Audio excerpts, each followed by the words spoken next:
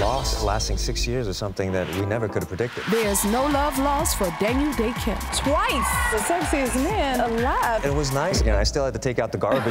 Plus, snazz up your sneakers. You do not have to break the bank to have a fly collection. On The Jennifer Hudson Show. Thursday at 10 on WBNX.